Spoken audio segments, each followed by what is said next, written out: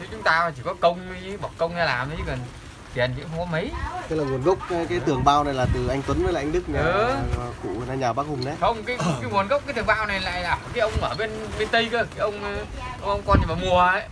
Ờ hôm với tôi với khoa này với ông hoàng này đứng đây này. Ông gợi ý đấy. Ờ ông đứng đây này thế, là là- ờ, ông chả được cái gì mà Ờ, ông có ông được cái đóng góp là ông ấy đưa Ờ. ý tưởng thôi Ờ, ông ý tưởng ý tưởng Ờ, thôi. ông ý tưởng Rồi. Thế hôm ông ấy- tại tại ông ấy là ông về đây ông ấy khấn ờ, khấn ở đây này ông thế là khấn xong rồi ông ấy ra ông nói chuyện với với, với cháu ông Hoa ờ, tôi mà đòi được thế nợ thì tùy tôi về tôi tiền tôi xây hết cái Nói như vậy. vâng vâng. cái cái đường bao của nhà vua. vâng thế thế là thế là cháu bảo chúng chúng tôi cũng đang có ý tưởng là cũng muốn xây hết cái đường bao nhà vua này. Thế là ông không nói gì nữa thì hôm ấy tháng tháng 6 dọn miếu để tháng 7 lễ. Ông ờ, đác ông ấy mới vào. Thế là thế là tôi cũng qua ngồi đấy uống đác ấy, nói chuyện ông đác. Bảo ông ờ, đức nhà ông ờ, ông à, ông đác còn nói cho ông bảo "Ôi, cái khu này đẹp thật nếu mà phải xây hết cái đường bao đẹp. Thế là cụ vâng. Thoa là đang giữ từ ở đây.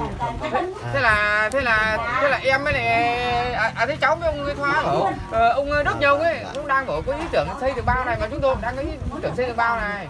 Thế ông đức ông bảo "Ờ, ông mà đòi được nợ thì ông ấy tiến cúng vào đây xây được bao. Thế là ông đáp bảo thế ông nói thế thật á? Ông nói thật đi cả tôi cả ông thoa thế ông bảo thế ông cứ ấy có như làm đi tôi xin cho nghìn thế là bảo vâng nếu mà ông xin cho được nghìn cái đi tốt quá. Thế ông bảo thế cứ làm đi thế là hôm rằm tháng 7 hôm ấy à hôm tháng 7 lễ mới khởi ra mới bảo cái ông ấy bảo ông ấy đức ông nói thế thế là ông kha ông ấy bảo có thì ông cho 500 gạch.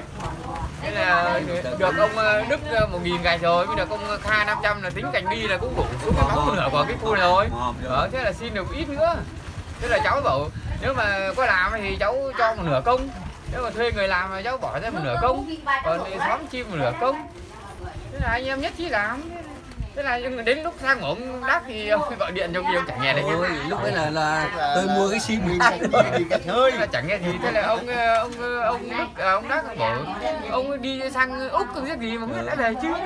Nhưng mà hôm nay ông về ông xây bộ kia ông có xuống đấy chứ chúng làm gì nữa để Hứa nhưng mà không à, nợ không biết ông có đòi không cái không về ông à, chín nếu mà tâm như vậy thì là rồi. Còn đâu về ông chín điện có đấy điện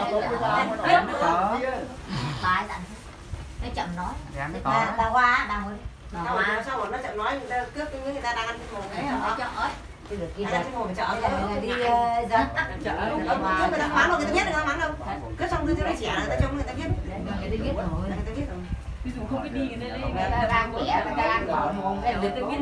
Ủa?